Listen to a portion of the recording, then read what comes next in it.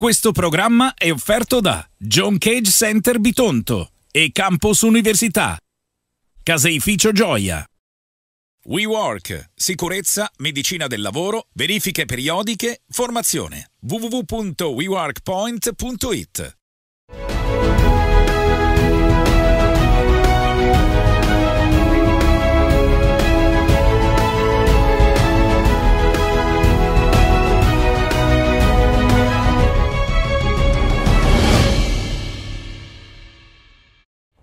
Amici del Ruggito Nero Verde, buonasera, benvenuti a questa nuova puntata, l'ottava del format dedicato al mondo del Bitonto Calcio. Questa sera parleremo ovviamente della sconfitta rimediata dal Bitonto in casa per una rete a zero contro il Nardò, poi nella seconda parte, come di consueto, ci tufferemo nella prossima sfida che i neroverdi affronteranno sull'ostico campo della Cavese. Lo faremo in compagnia alla mia destra di Gioacchino Carulo. Buonasera Chicco. Buonasera, buonasera a tutti.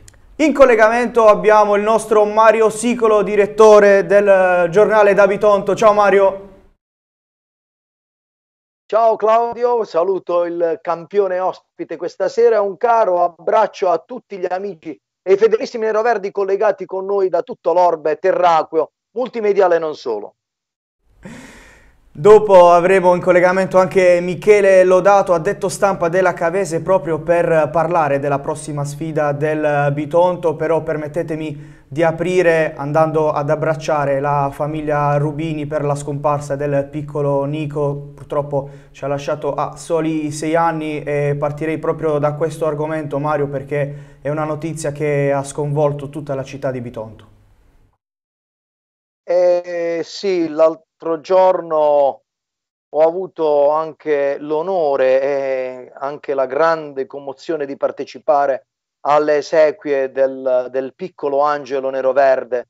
È un angelo che già è stato esemplare nella sua pur breve vita, essendo stato davvero un eroe dell'amore, così come è stato definito da Don Vito Piccinonna, il parroco della Basilica dei Santi Medici, la chiesa ove appunto si è tenuta la chiesa gremita anche di campioni del nostro calcio, di uomini che hanno diviso il terreno di gioco sia col padre Francesco, sia con lo zio Leo, ma anche col piccolo Nico che spesso entrava in campo a giocare col papà. E beh, effettivamente credo che sia una ferita che ha dilaniato il cuore di tutto l'ambiente nero-verde un ambiente nero-verde davvero provato in questi anni. Ecco, e apro e chiudo velocemente questa parentesi, Claudio, se mi consenti. Uh, noi siamo qui che facciamo il nostro, no? dobbiamo anche dare in alcuni passaggi uh, il nostro sguardo critico no? sugli eventi, sulle vicissitudini calcistiche del Bitonto. Uh, I tifosi, l'ambiente, i sostenitori sono esigenti, vorrebbero sempre che i neroverdi vincano.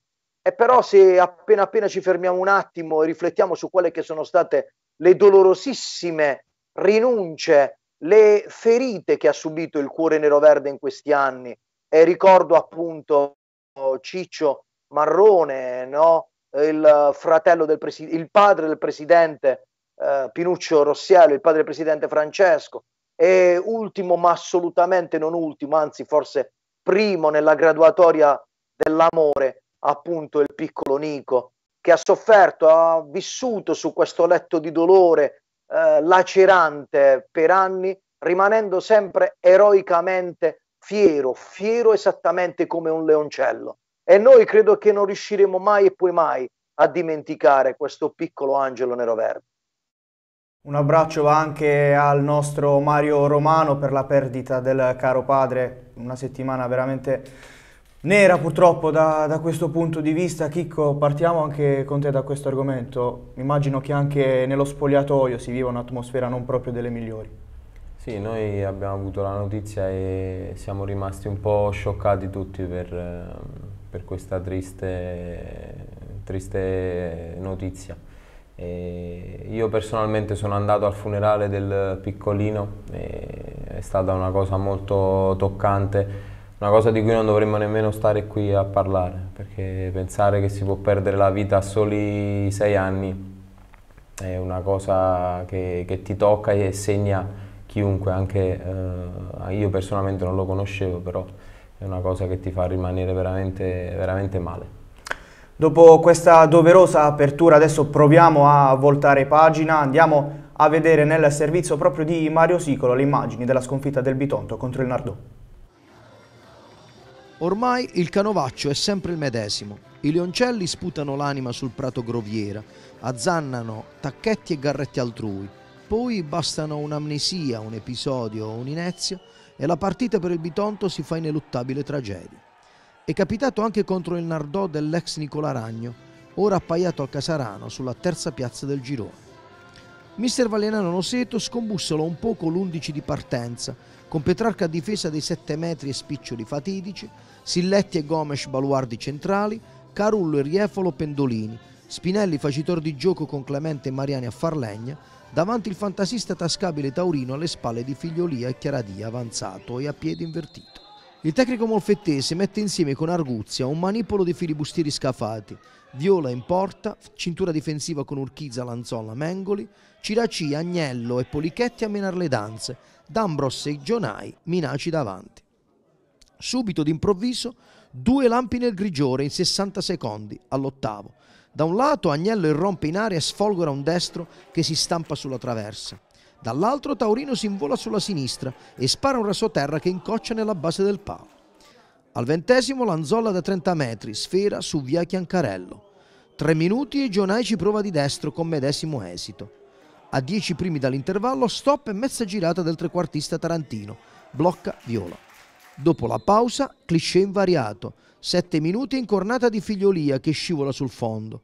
Al decimo l'evento che griffa il fato del match. Silletti esce maldestro dalla difesa, Polichetti scodella al centro e avambraccio di Gomes. Dal dischetto Gionai spiazza Petrarca. I leoni adesso ruggiscono malcerti. Minuto 21, Maffesi divincola De Mastini e calcia, Viola rimedia in tuffo. A sé dallo scadere attimi di pregevole volley in area granata e il signor Gavini resta afono. Subito dopo il traversone di Mariani da sinistra, Moscelli la spizza fuori. Primo di recupero, Orlando intercetta il pallone e tira fulmineo, Petrarca la inchioda sulla zolla. Estremo sussulto della gara all'ultimo respiro. Volè dal limite di Taurino, cuoio che sibila accanto all'incrocio.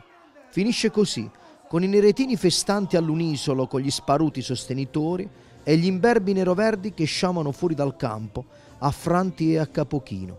E domenica prossima li attende la nobile vorace Cavese. Prima di andare da Mario Sicolo per commentare questa partita mi dicono dalla regia che con noi Michele Lodato ha detto stampa della Cavese, quindi lo vado subito a salutare. Ciao Michele, grazie per aver buonasera, accettato buonasera. il nostro invito. Buonasera a tutti, grazie a voi per avermi invitato. Tra poco verremo da te per parlare del prossimo match. Adesso vado, sì, da, da Mario Sicolo. Mario, l'hai detto anche tu durante il servizio, ormai la classica partita del Bitonto, possiamo dire così, un Bitonto che crea, che gioca bene, però poi viene punito dagli episodi. Sì, eh, un attimo soltanto Claudio, io volevo aggiungermi anch'io all'abbraccio a Mario, al caro collega Mario, Mario. fratello Michele. Maria eh, in ricordo appunto del padre Nino che era un esempio di onestà, di integrità morale e di forza interiore come pochi. E poi volevo ricordare che il piccolino Nico porta il nome del nonno che è stata una gloria del calcio nero-verde. Certo, e a proposito io provai a chiedere anche eh, durante la conferenza stampa post partitam al mister, no? Eh, sì, il cliché è lo stesso, ormai il canovaccio è sempre quello. I ragazzi che entrano in campo sputano l'anima, sudano la maglia, come da sempre è stato desiderato dal nocchiero nero-verde, però poi alla fine basta niente, un'inezia, una disattenzione, un'amnesia, ma anche se vogliamo un colpo di genio degli avversari, come comunque non è stato domenica e alla fine finisce per perdere il Bitonto. E per perdere ancora terreno nei confronti di altre squadre, perché se è vero come è vero che nella giornata scorsa alcuni risultati sono stati anche a favore del Bitonto perché poi alla fin fine le dirette concorrenti hanno perso o hanno fatto un punto, non di più, quindi non ha perso tanto terreno, ma intanto siamo tornati nella zona play-out, come era appunto prima dei due successi consecutivi. E quindi sì, purtroppo c'è la necessità di invertire la tendenza. Non sarà facile cominciare a farlo proprio domenica, visto che eh, in un girone così equilibrato e livellato purtroppo verso l'alto, no? eh, l'unica forza davvero corazzata e incontestabile è appunto la Cavese che è al primo posto. Poi le altre, grosso modo, insomma, se la stanno battendo. Chicco, voi che idea vi siete fatti di questa situazione? Perché la prestazione c'è, però come si esce adesso da, da tutto questo? Eh, come si esce? Continuando a lavorare con, eh, con il lavoro giornaliero di tutta la settimana e anche parlando della partita di Nardò abbiamo fatto una, secondo me una buona gara, eh, poco tecnica però molto uh, fisica contro una squadra che comunque uh, lancia, cercava tanto la palla lunga sugli attaccanti. E alla fine abbiamo contenuto bene anche questo loro modo di giocare. Ci ha punito questo episodio del rigore e quindi è andata così, testa alla Cavese adesso domenica eh, perché comunque dobbiamo pensare eh, sempre partita per partita. Eh, piano piano io sono sicuro perché eh, anche noi comunque abbiamo giocatori esperti, anche se siamo una squadra giovane, abbiamo giocatori esperti e penso che ne usciremo presto da questa, da questa situazione. Tu ti senti tra questi giocatori esperti nonostante la giovane età?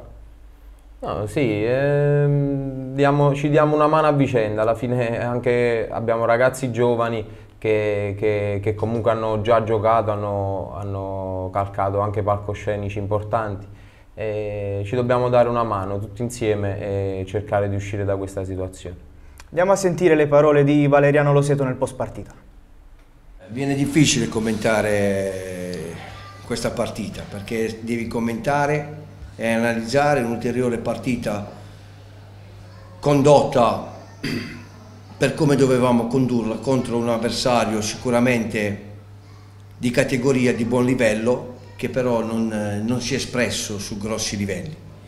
Noi abbiamo buttato veramente oltre l'ostacolo il cuore, tutto quello che avevamo in singola forza, però non siamo stati premiati nel, nel realizzare. Vedi il palo di Taurino, l'occasione finale con Taurino, è vero che loro al primo tempo hanno colpito una traversa, però c'è poco da fare, è un'ulteriore beffa perché non siamo stati mai impensieriti dal, dal Nardò. I ragazzi hanno chiuso ogni varco, hanno chiuso ogni varco e come hai detto te abbiamo, siamo capitolati su un rigore che noi abbiamo concesso al, al, al Nardò, non se l'è neanche procurato, su una disattenzione difensiva abbiamo sbagliato il rinvio e poi c'è stato il mani di, di Gomez in aria, quindi, ma signori miei, così sinceramente non va, i ragazzi devono capire che non basta, non basta con questo campionato, ragazzi e noi, noi tutti dobbiamo capire che non basta in questo campionato eh, riuscire a dar tutto o essere concentrati fino alla fine anche nei minuti di recupero. Bisogna dare, tutti noi bisogna dare qualcosa in più perché è veramente un diritto sportivo non eh, occupare quella posizione in classifica, meritiamo sicuramente qualcos'altro, quella è una posizione diversa, però il campo puntualmente ci dice che c'è qualcosa che non va e dobbiamo sicuramente lavorare affinché riusciamo a trovare questa benedetta situazione a, a queste sconfitte che sicuramente non meritiamo. Mario Sicolo è stato categorico, Valeriano Loseto, così non va, bisogna dare anche più del 100%.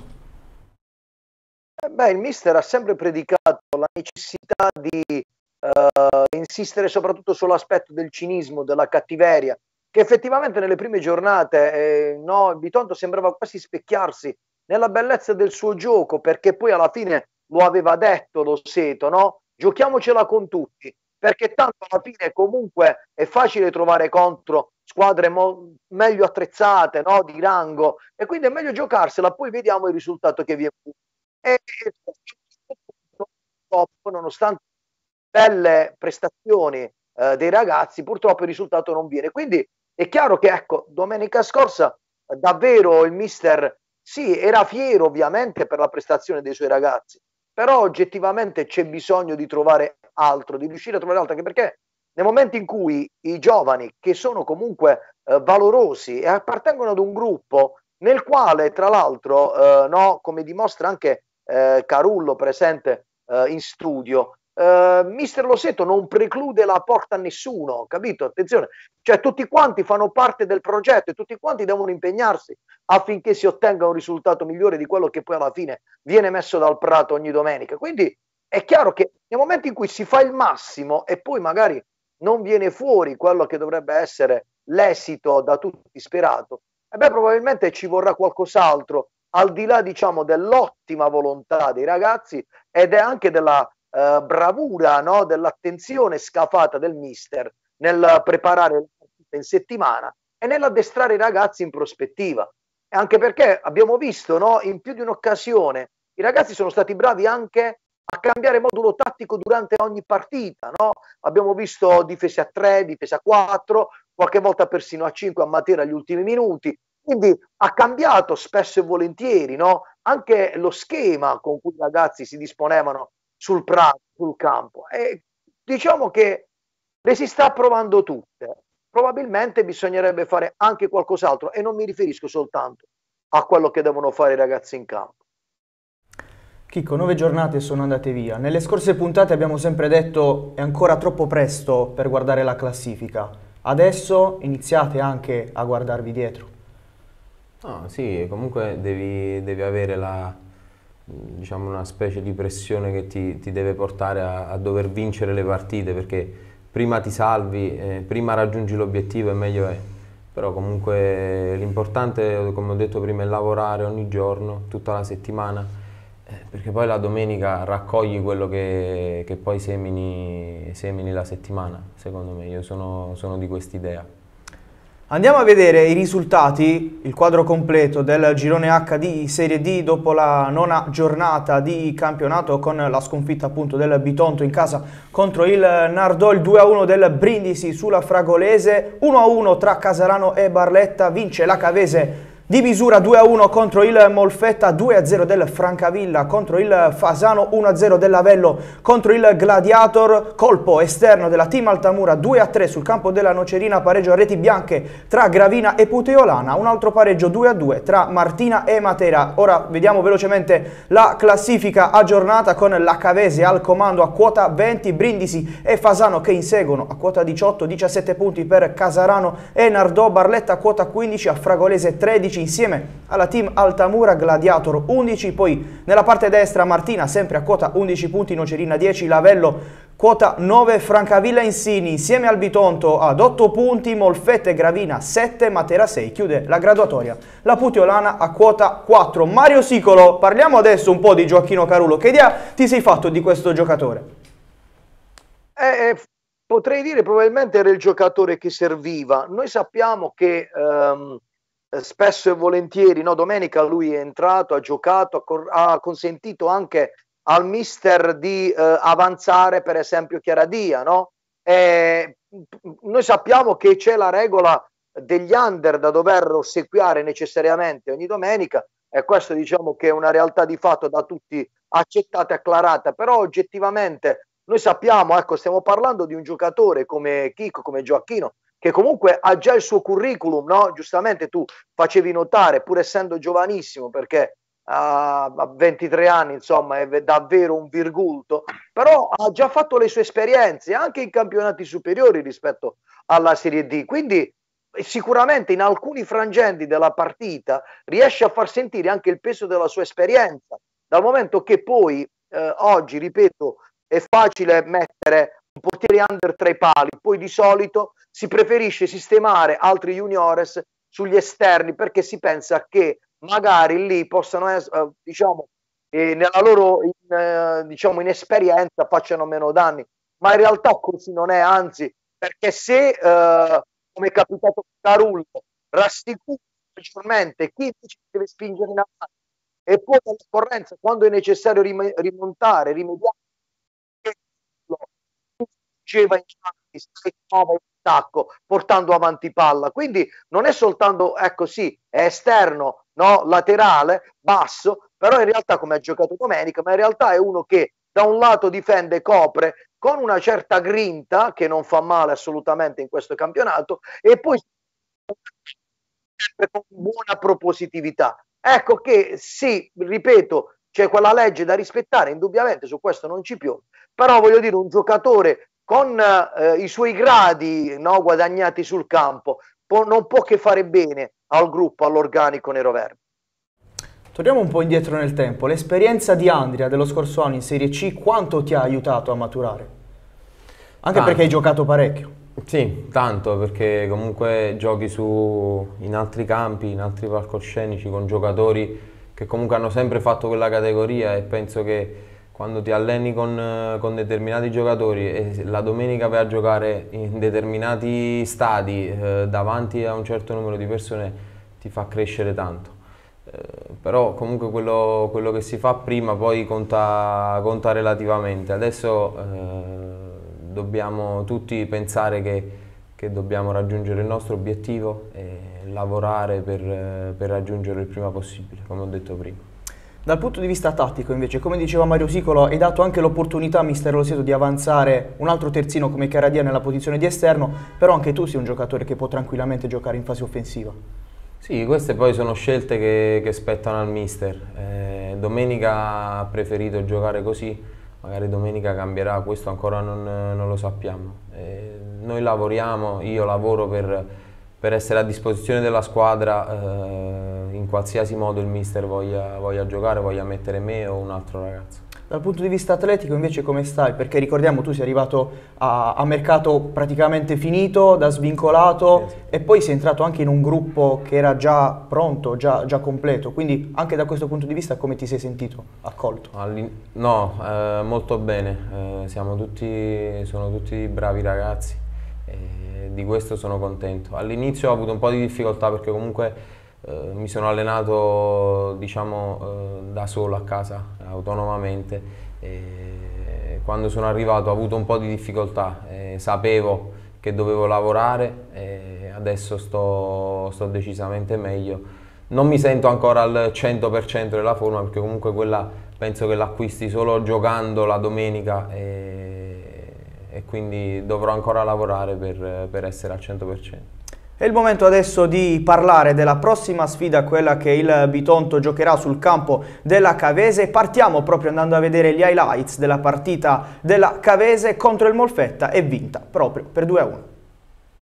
E la Cavese è la nuova capolista del girone H grazie alla vittoria per 2-1 in rimonta contro un Molfetta protagonista di una buona prestazione convincente nonostante la sconfitta dopo tre risultati utili di fila e nel finale vicino al pareggio. Primo tempo subito vincente ma partono meglio i campani, punizione di Aliperta che si stampa sul palo, palla ancora lì, Foggia a porta vuota, manda alto, occasione persa per la Cavese che poco dopo non sfrutta un calcio di rigore ottenuto sul contatto in aria tra Pinto e Palma. Ancora una volta è Foggia a mancare l'appuntamento per il vantaggio dei padroni di casa. Bravissimo Diamè a toccare. Quanto basta per la deviazione. Il Molfetta cresce col passare dei minuti e al quarantesimo trova la rete del vantaggio. Cross di Manzo in aria, Longo di testa sfiora e manda a vuoto l'uscita di Colombo, palla che rotola in porta e 1-0 per i pugliesi che festeggiano e pochi secondi dopo provano anche a raddoppiare con la conclusione conclusione di Montinaro da buona posizione, Colombo respinge. Al 42esimo, arriva la reazione della Cavese, subito decisiva, Aliperta carica il mancino e trova l'angolino basso e 1-1, risultato invariato sino all'intervallo. E sfida aperta anche nella ripresa. Puglisi prova la conclusione debole e facile per la presa di Diamè, si fa vedere anche Bacio Terracino, portiere del Molfetta, ancora attento, parata in due tempi. Per i ragazzi di Mister Bartoli, risponde Vivacqua dalla distanza distanza, palla al lato, i campani vogliono la seconda rete, l'occasione buona capita sulla testa di Gagliardi, ben piazzato sul secondo palo, Diamè è miracoloso con il suo intervento che salva il punteggio, ma solo per poco. Minuto 57, Aliperta riceve palla in aria, ha il tempo di coordinare il mancino e calciare in porta, 2 a 1, nulla da fare questa volta per Diamè, Cavese che completa la rimonta, doppietta per il capitano della formazione campana, il Molfetta prova a rispondere rispondere con la punizione di Montinaro, palla che sfiora il palo, poi ancora Campani avanti nel tentativo di chiudere i conti, prima Gagliardi, poi Banegas non trovano la porta, palla alta in entrambi i casi, nel finale al terzo minuto di recupero tutti i rimpianti dei pugliesi, azione offensiva, Stasi mette in mezzo per la testa di Tedesco che non inquadra la porta, grande chance per il pareggio ma nulla di fatto, finisce così. Cavese nuova capolista del campionato, Molfetta in campo. Domenica prossima al Paolo Poli contro il Gravina. Vado da Michele Lodato. Michele, avete rischiato di mettere la partita sui binari sbagliati nel primo tempo, poi però si è vista la reazione da grande squadra. Beh, sicuramente c'è stata la reazione che una squadra importante, quale la Cavese, senza eh, diciamo, nascondersi, doveva, doveva, doveva fare. Eh, la partita si era messa un po' male, come le immagini testimoniano, perché dopo eh, la punizione sul palo, il gol divorato a porta vuota e il rigore sbagliato, prendere un gol del genere su o uno svarino difensivo avrebbe tagliato le gambe forse a molte squadre, poi al 40 del primo tempo, quasi con la testa agli spogliatori. Invece la fortuna è stata non subire il 2-0 subito dopo e soprattutto pareggiarla prima di andare all'intervallo. Quella è stata forse la, morsa, la, la carta vincente perché nella ripresa c'è stata solo una squadra sin dai primi istanti, è stata la Cavese, anche se come avete visto alle immagini al 92esimo il palo spizzato da, da tedesco ci ha, ci ha salvato ma questo voi l'avete detto, vi ho ascoltato, questo è un campionato davvero difficilissimo. Eh, noi l'anno scorso abbiamo fatto il girone siciliano e posso confermare che questo girone non ha nulla a che vedere con quello siciliano, per intensità, per agonismo, per qualità dei singoli, eh, per blasone delle squadre, per stadi, per tifosi presenti allo stadio,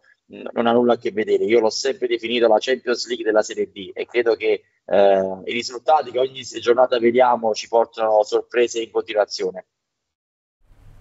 E, e, hai detto una cosa assolutamente giusta, ovvero che la, il girone H di Serie D non è assolutamente paragonabile agli altri. Ti faccio una battuta, ehm, siete da soli davanti a tutti, com'è guardare tutti dagli altri, anche se sono passate soltanto nove giornate? Beh, sicuramente c'è la soddisfazione comunque di passare una settimana in vetta, ma eh, credo che la classifica oggi non debba essere guardata perché siamo davvero all'inizio di un campionato lunghissimo molto equilibrato perché se vediamo le prime 7-8 della classifica sono racchiuse in pochissimi punti e tutti possono battere tutti, non, non, non, esiste la gara semplice perché se domenica vediamo la classifica che avesse Molfetta è una gara da restato scontato, poi guardi la partita ed è una gara complicatissima come senza voler mettere le mani avanti sarà anche quella col Bitonto perché sia per lavoro, per passione ormai seguo la, la Serie D e questo girone e credo che nettamente il Bitonto abbia raccolto molti meno punti di quelli che meritava sul campo. E quindi sappiamo benissimo che domenica non sarà una gara semplice come nessun'altra gara. Tutte le squadre che sono lì sotto, poi quando vengono a giocare in stadi comunque un attimino un po' più importanti, forse non hanno nulla da perdere. Questa serenità, questa tranquillità gioca per queste squadre un'arma importante. Mario Sicolo sarà un importante banco di prova per il Bitonto contro la Cavese anche perché da quanto sembra a Cava dei Tireni si respira un'area importante anche sugli spalti.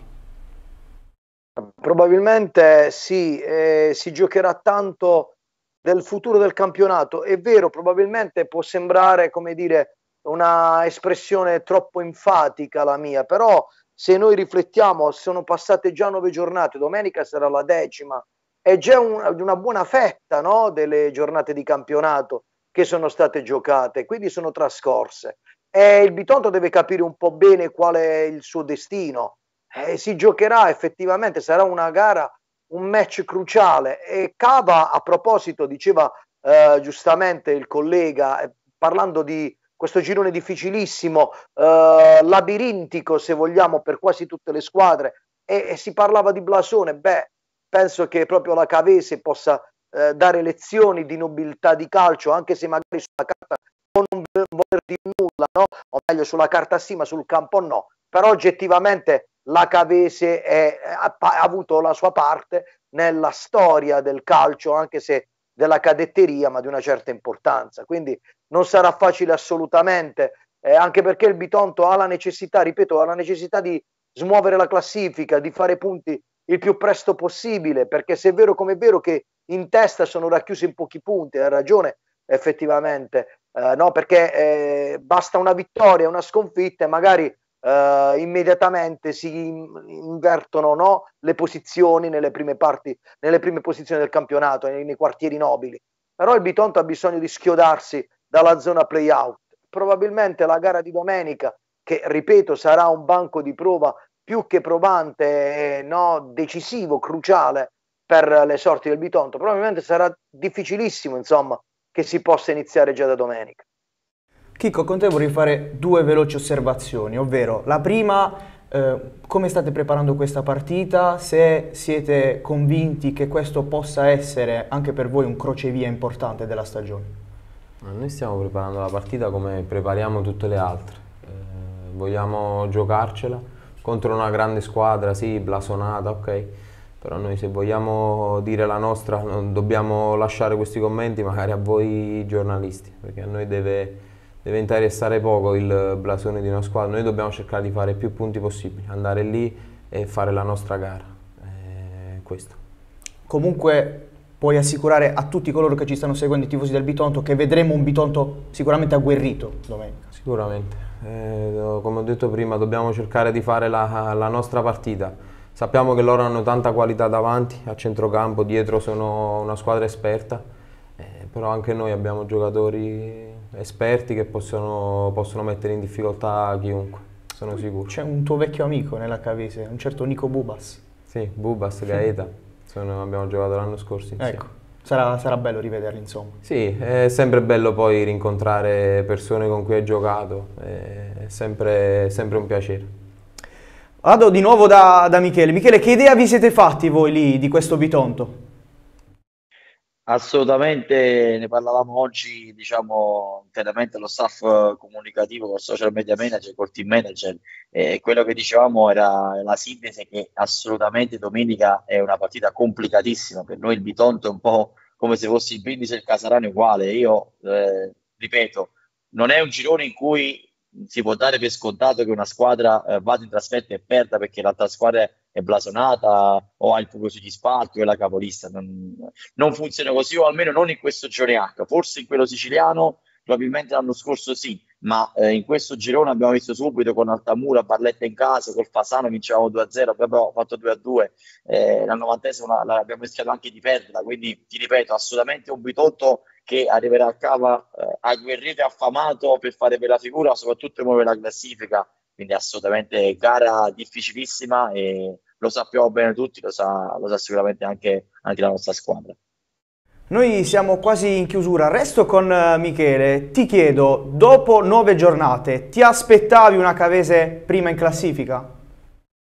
Ci speravo, ecco, ci, ci speravo che la Cavese fosse nelle prime posizioni, ma Uh, guardi, il primato di oggi deve dare, deve dare, gratificazione per queste nuove partite, ma non significa assolutamente nulla perché, come diceva il collega, basta perdere una partita e da sotto Vignet puoi trovare terzo o quarto.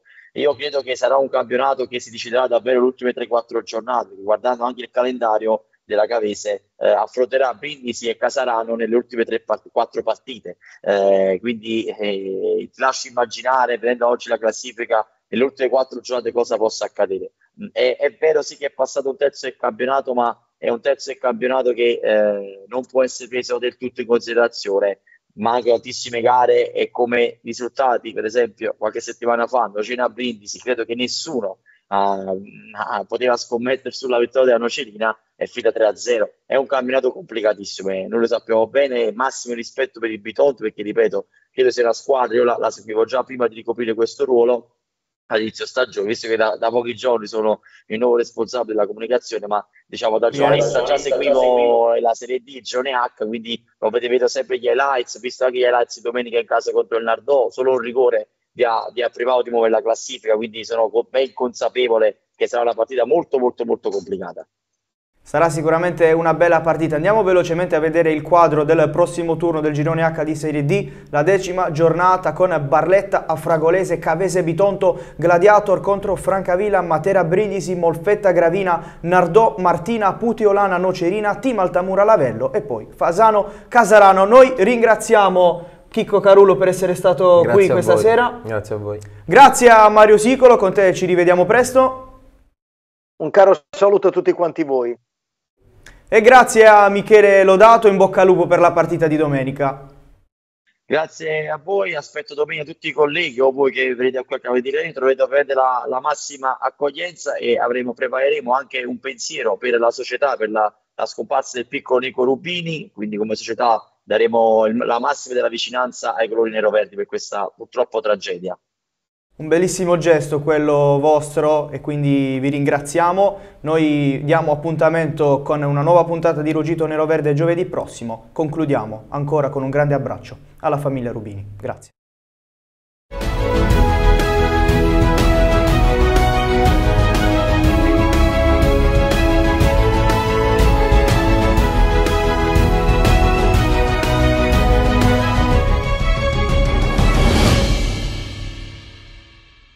Questo programma è stato offerto da John Cage Center Bitonto e Campus Università, Caseificio Gioia. WeWork, sicurezza, medicina del lavoro, verifiche periodiche, formazione. www.weworkpoint.it